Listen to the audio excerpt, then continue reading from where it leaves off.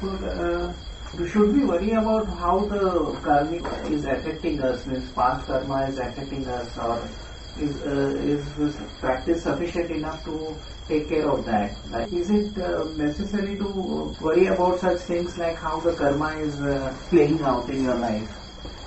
Just, all, all it really you have to do is just be aware right now of what you're the feeling, uh, it, the reality of now.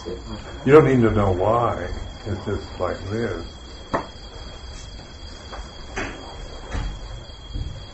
So, so, you know, when we start asking why, then we try to analyze and and uh, we get caught up in in, the, in our own thinking mind again.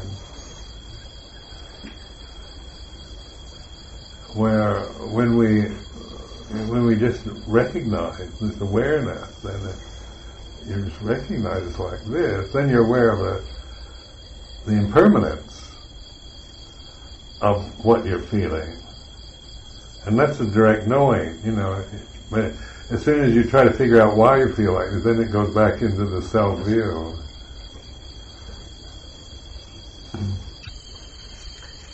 what I found a little frustrating of in Buddhism is, you know, for being an arahant, in the commentary, you, you need to practice, uh, or you, it's uh, one uncountable, like 400,000 uh, eons, and for Pacceka Buddha, double of this. It is so incredibly long. You know, when you, uh, you know, uh, you know, one eon is already so long, and then you say 400, uh, and one uncountable, only for being a, you know, you, you say maybe you know, this is uh, very frustrating to This is extreme, uh, unbelievable long time. Yeah, the religions tend to use hyperbole, you know, exaggeration. Because actually, the, the Buddhist teachings about here and now, and, and like, like when, you know, if you, like the ten fetters, that, you know, as you let go of these ten fetters, then that's arahantship. There's twelve, you know, formally the formal is the Four Noble Truths, three aspects to each truth, twelve insights, arahantship. So I mean, but, but you need the parliament for it. yeah, but then, you see, that's something you create. You know, you read it in a book and you you think, how many do I only have a million lifetimes more before? when I was in the Tibetan tradition, is the problem there, saying that I need three countless, you, you, should be aiming for three countless eons in the future to attain sannyas and Buddhahood. And then the teacher, um, you know, you can attain arhat in one lifetime. that sounds good. yeah, because it's, I mean, it, that's the way language works, you know, time and well, when I come here now, I'm hearing like you know again the countless eons being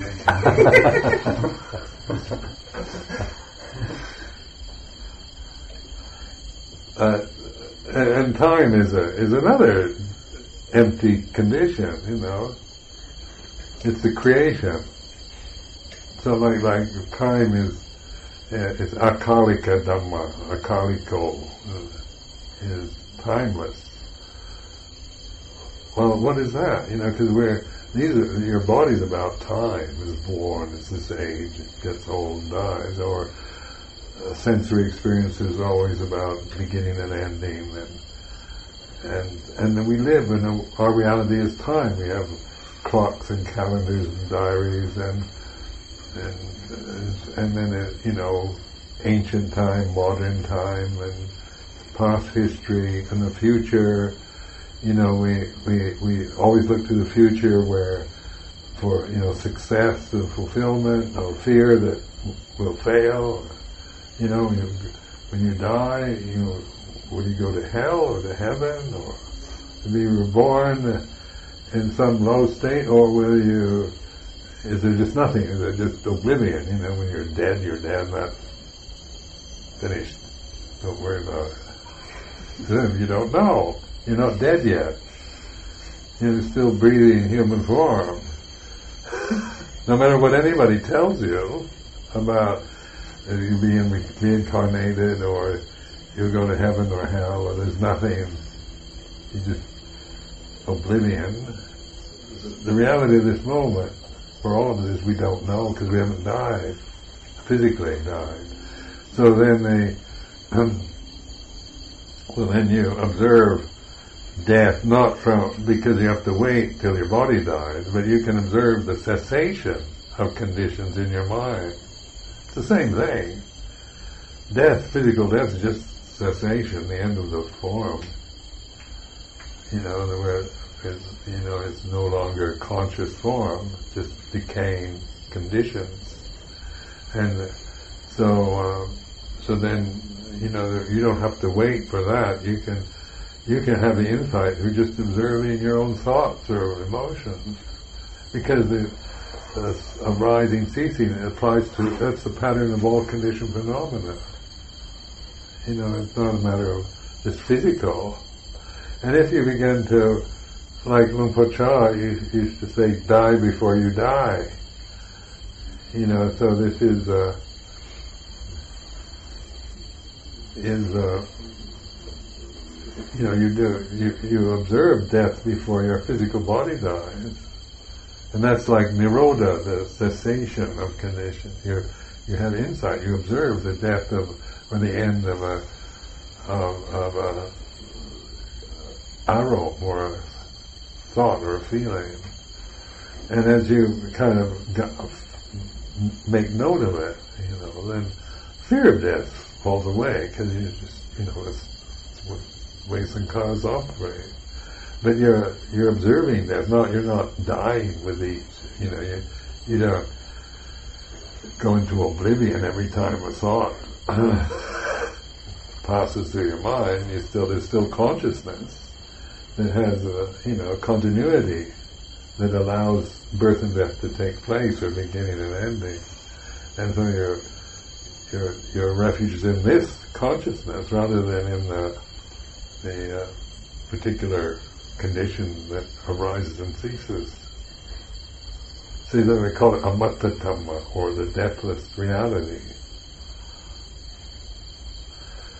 and that's where the this is where the, you know, like when we think of anatta or no self, we, you know, people find that difficult because, you know, we we seem to be a separate self.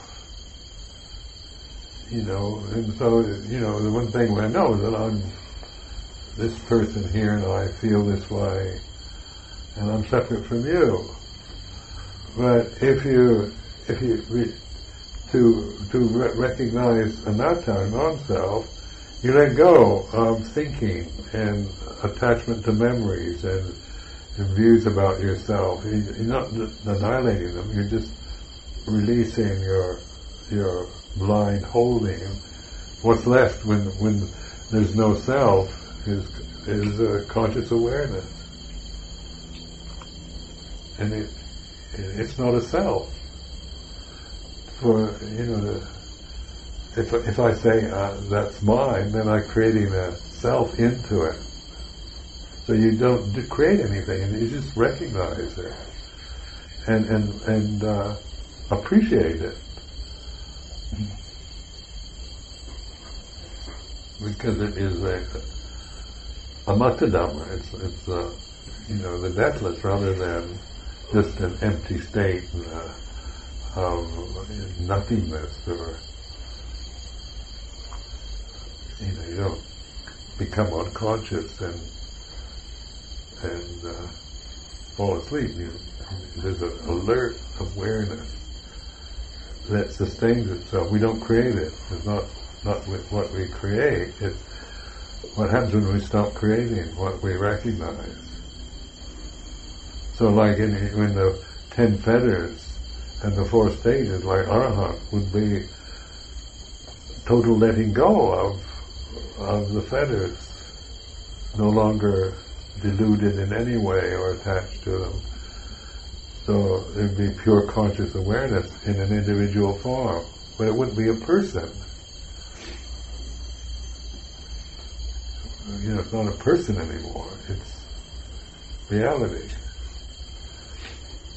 But then we can say so and so is an arahant. Then we create then we, we form a sense of somebody has become one, because that's how language works. Know, language is, it has that limitation. You know, it's all about, you know, creating forms. So, I think in Visuddhimagga, one of those, it says, there's the path, but nobody, there's nobody on the path. And I used to think, that sounded depressing. You know, there's this path, nobody's going on it. Su- suffering is, but there's no sufferer. path is, but no one walks the path. And, uh, and, you know, they realize that the path, there's no, nobody, there's no person on it anymore. There's, there is this, which is reality. But you're not creating anybody to to, to be walking on this path.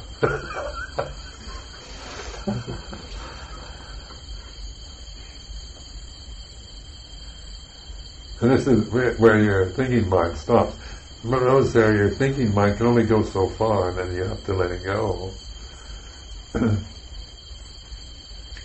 Because thinking is, is a creation, you know. So we, you know, we create languages, and they're, they're you know, they're useful, but they're also created for living in the world and, and, and about discrimination and, and quality, quantity. It's about this is bigger than that, or quality, this is better than that, or you know, it's blue or red, or its form, uh, or you know, its shape and form is the is the conditioned realm, and we create that. And language is how we we bind ourselves to forms as our real world. And so, like in Paticca Samuppada, you know, you you dependent origination. You it's an exploration of that that process from avijja, paccaya sankhara, sankhara paccaya vijnana. It's a, as long as there's ignorance of Dhamma, then that influences how we interpret everything. And it always ends up with dukkha. Sukha parideva tukkatomana upaya. You know, the, you know, you start out with avijja, and the result is dukkha. Things like avijja is not understanding Dhamma, not knowing reality. And then it gives that whole structure of, you know, how from consciousness, namarupa, salayatana, phassa vedana, tanha, upadana, and so forth, and you, person, and you can kind of explore that in your mind. Like, like, uh, Ajahn is always talking about upadana, attachment out of ignorance.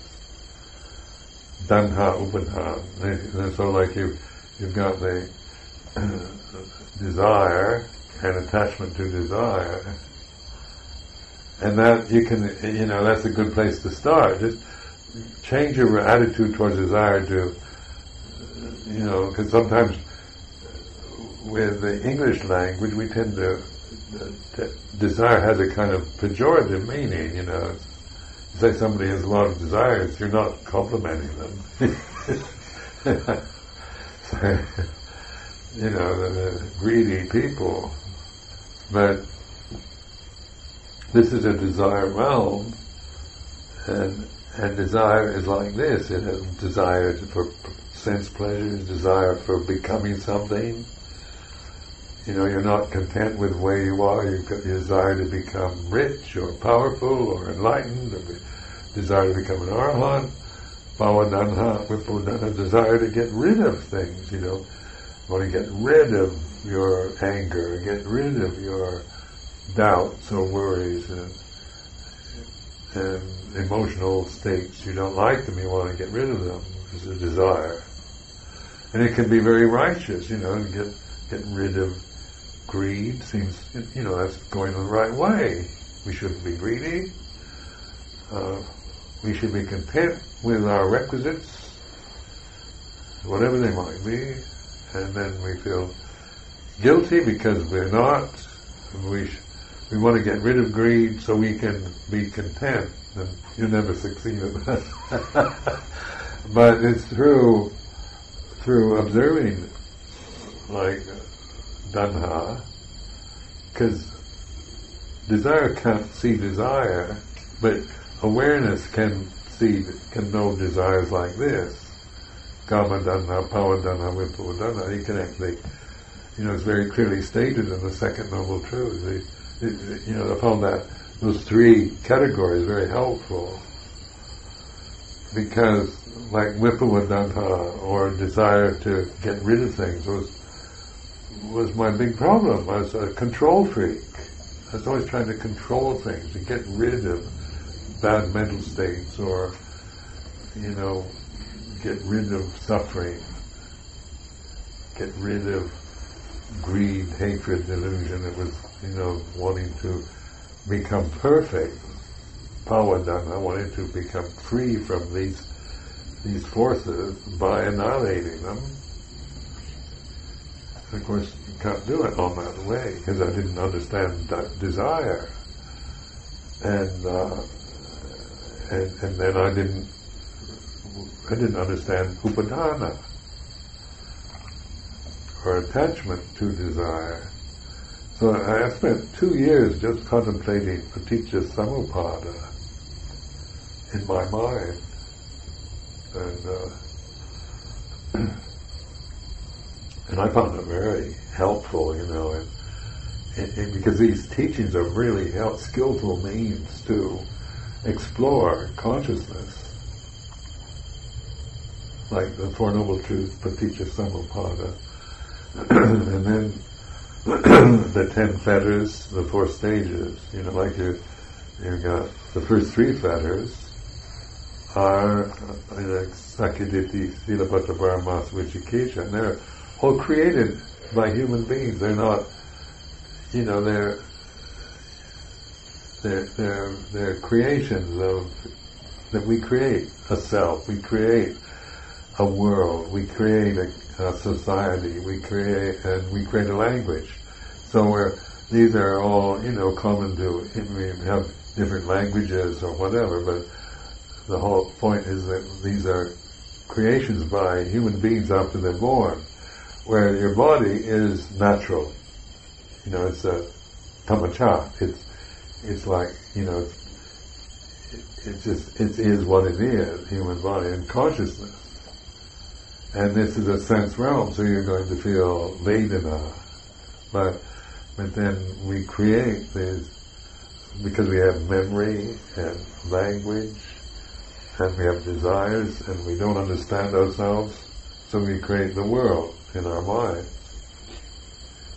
And then, like in Paticca Samuppada, as you explore that, then it, it you know, it gives you ways of investigating, get kind of different perspectives on the same thing. But you're always looking here.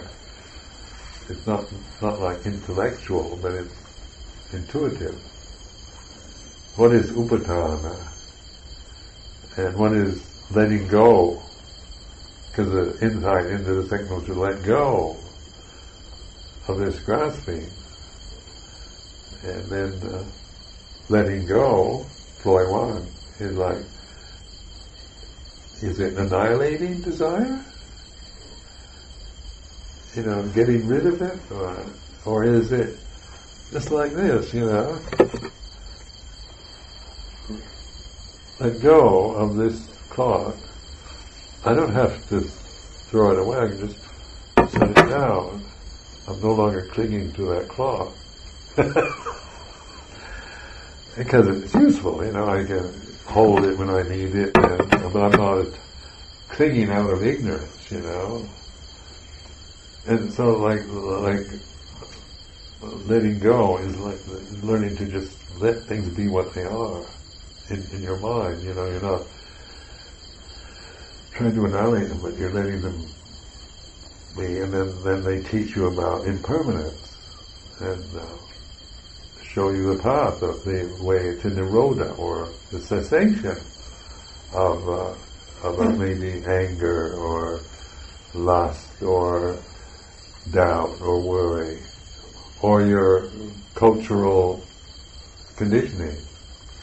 You know, you learn how to recognize it, and you're letting go. You're not trying to destroy it, but you're no longer just blindly holding on to things like you were. And then, uh, then the Nirodha side of it uh, is where you know the when you are mindful, then the whole thing, the whole thing collapses. So you have sankhara nirodho and so forth, and and so then the, the, it's not about annihilating, it's the, the cessation of, of the worlds we create, and then that leads to peace and wisdom. So there's like this, this awakenedness, you know, wake up kind of teaching. It's just, it's not, you know, it's just learning how to, to reflect and observe your own attachments. It's not about trying to become someone who's not attached to anything, but testing it out, experimenting. Like it's all about getting the only soul you know, that kind of going deep and observing and something, you know, it's not just, it's not of intellectual understanding, profound. And it, then you have insight knowledge rather than just a lot of knowledge about Buddhism.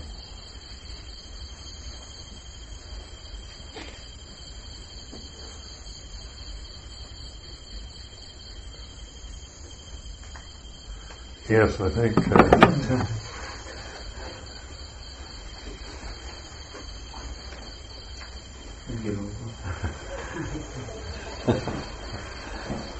anyway, anything I say before reflection. You know, I'm not trying to.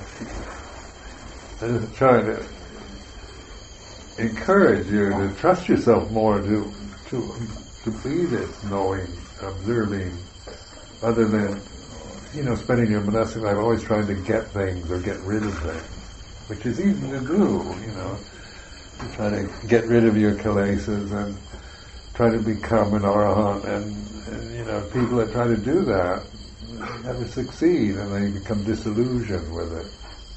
But and so it's like like encouraging you to like just wake up and uh, Buddho and then this kind of empowering you to use these forms, these teachings, to, for wisdom rather than just accumulating more knowledge about Buddhism. It's, it's, they're actually aids, helpful directions, and they're very skillful. I don't see any anything else that could compare, you know, the, practical clarity of the Buddha's teaching and then it gives you vocabulary, gives you uh, it gives you a way of living your life, uh, and uh, that is blameless. You know, if you live rightly in the monastic form, it's, it's a blameless way to live. And you, but you're not rejecting society; you're enhancing it, like the sangha in Thailand enhances Thailand. It's not like, uh, even though you know people say you know, there's corrupt monks, but there's bound to be. You know, individuals are corruptible, but the teaching here is pure.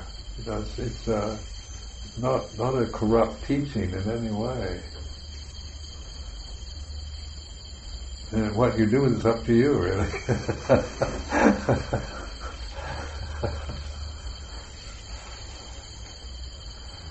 I can't force you to practice. like, like tyran- tyrannize you. you go. you, you inspire us.